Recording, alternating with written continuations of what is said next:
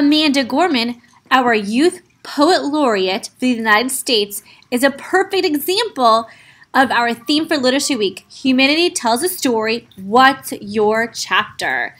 She is writing her own chapter through poetry and she even wrote a children's book, which I'm so excited to pre order and then, when it comes to school, share with all of you.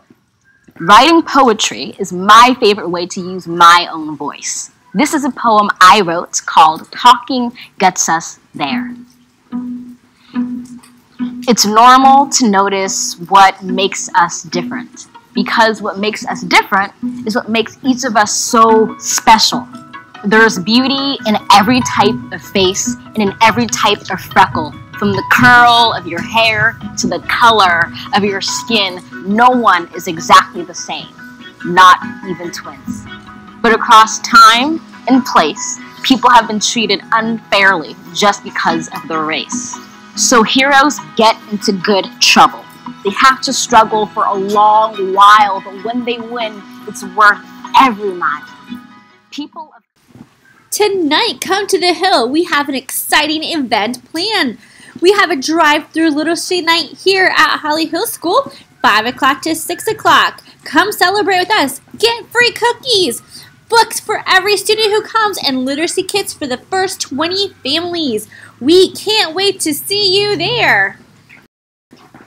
Our book giveaway winners today are Chloe Adarante, Karan Bryant, Aiden Costello, Kevin Flowers, Janila George, Kamari Hill, Jay Jordan, Talia Miles, Ida Sevilla, and Raul Zambrano. Come down to the Media Center to pick out your books.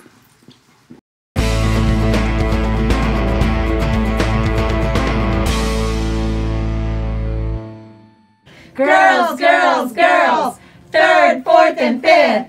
Come join us for fitness, fun,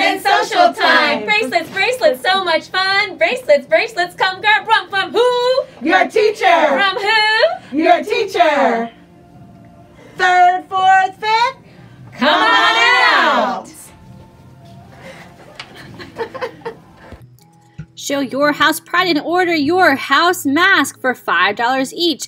You can pick up a form to order your mask in the main office or the grade house. When I popped off, then your girl gave me just a